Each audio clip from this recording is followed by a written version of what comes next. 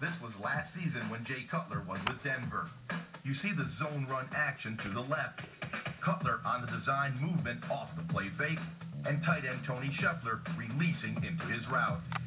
Scheffler looked like he was going to run the underneath cross, which is the conventional backside route when the quarterback boots.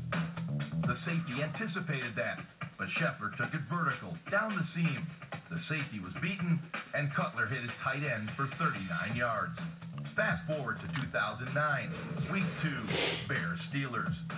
Tight end Greg Olsen motioned across the formation just outside the screen. You'll see Cutler play fake to Matt Forte and then boot to his right. Same backfield action as the Denver play a year ago. And Olsen also looked like he was going to run the underneath cross. But just like Scheffler, Olsen went vertical. I love it. Keep Cutler in his comfort zone. Stay with us. Coming up next, the